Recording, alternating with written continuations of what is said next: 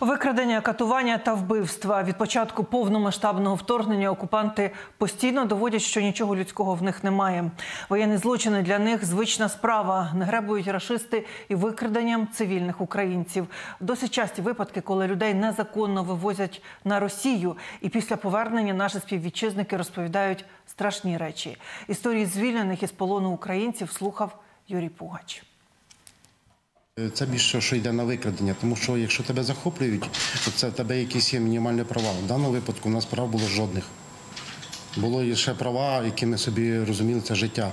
А в них права, слово право в них відсутнє. Володимир Хропун на власній шкірі відчув, що таке і російська окупація, і російський полон. Його рідне селище Димир на Київщині перебувало під контролем рашистів більше місяця. У перші дні Володимиру вдалося вивести свою сім'ю на безпечну територію. Тож вирішив допомагати таким чином іншим. За день чоловік міг перетнути по 3-4 блокпости, і на одному з них рашистам не сподобалося його висловлювання. Володимира затримали, а далі кілька тижнів полону. У нас, грубо кажучи, закинули закрите приміщення, без окон, без е, двері були, і там були тільки зазор. Ми бачили, е, що це день ніч по щілині в дверях.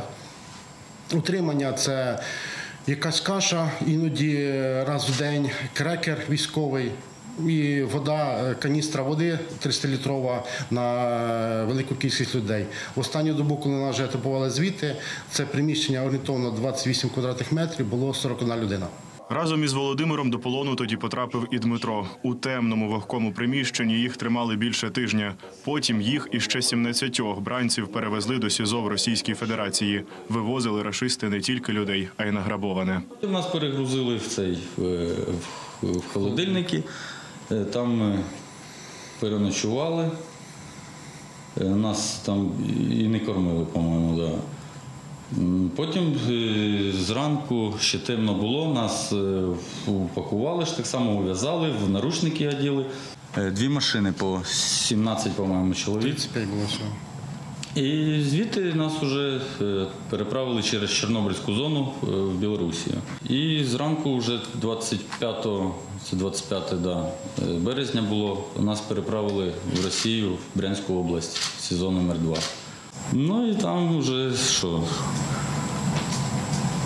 Допити, допити. Чоловіки кажуть, їх рашисти не катували. Визнають, їм просто пощастило. Утім, військові злочинці не гребували психологічним тиском на українців, стріляли над головою, одягали мішки на голови. А коли забирали їх із камери на допити, казали, що ведуть на розстріл. Через кілька тижнів, коли у чоловіків зійшли синці, їх обміняли на російських військових злочинців. На кожному етапі, де ми не перебували, нас повністю допитували, повністю знімали відпечатки, ну, Кожна- заводили кожна с- свою справу, кожна служба. Тобто на території Російської Федерації ми маємо, ми є в всіх базах, яких можливих для цієї країни. Крім них, у брянському СІЗО перебувало ще більше як п'ять сотень українців. Лише 100 з них військові. Абсолютна ж більшість цивільні. Правозахисники кажуть, це досить поширена тактика для рашистів. Цивільні громадяни затримали саме з метою так званого поповнення обмінного фонду. Їх переодягають військову форму, їх допитують як коригувальників, навідників чи когось такого, і потім, що важливо, міняють.